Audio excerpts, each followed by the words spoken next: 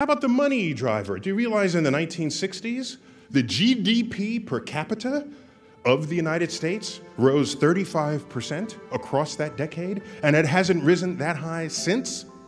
In fact, in the, in the, in the decade of this century, it rose 0% between 2000 and 2010. It'd been dropping ever since.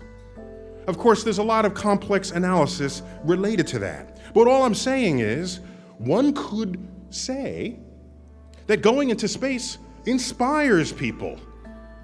You can remove the war driver and say it'll boost our economy. Not just spin offs, you always have spin offs, who doesn't love a good spin off? But it inspires people to innovate. Headlines.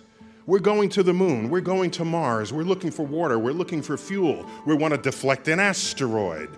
These headlines hit the press.